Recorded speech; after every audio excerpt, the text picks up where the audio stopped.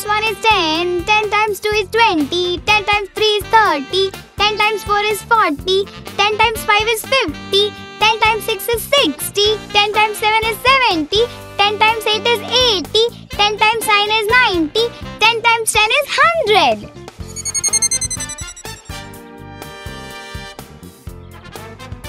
Mom, you know what I just noticed? Each product in the 10 times table is the same as the number that 10 is being multiplied with, only with a zero added to it. Yes, that's because when a number is multiplied by 10, its value is increased 10 times. What do you mean? 10 multiplied by 7 gives us 70. This can also be written as 7 added 10 times, which is 70. This means that when the value of 7 is increased 10 times, we get 70. The same goes for any number being multiplied by 10. So while multiplying a number by 10, all I need to do is add a zero after it and I'll have the answer. Yes, Uh, so what is 152 multiplied by 10? Uh, 1520. yes, exactly. This is great. Now I can multiply extremely large numbers with 10 easily. 1500 multiplied by 10 becomes 15,000. 8000 multiplied by 10 becomes 80,000. So, mom, what if I multiplied a number by 100? Its value would get increased by 100. So, just like multiplication with 10, I would add zeros at the end to get the answer.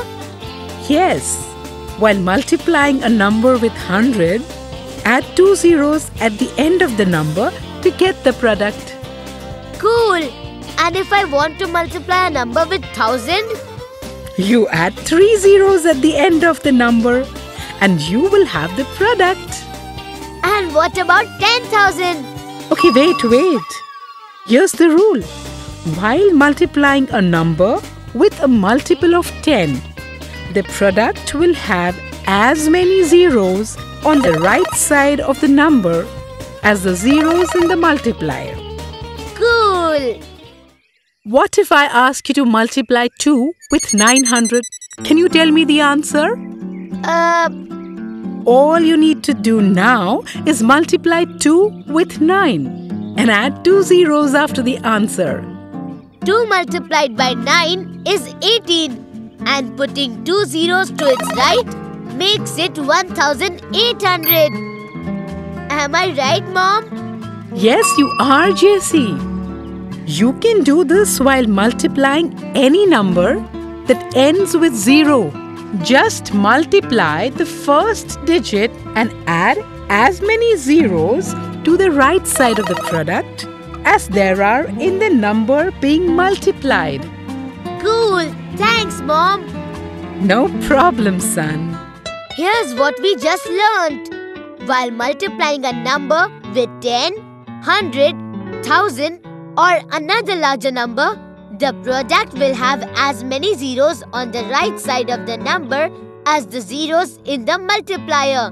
While multiplying a number which is a multiple of 10, multiply with the first digit, then count the number of zeros and add them to the right of the number that you get.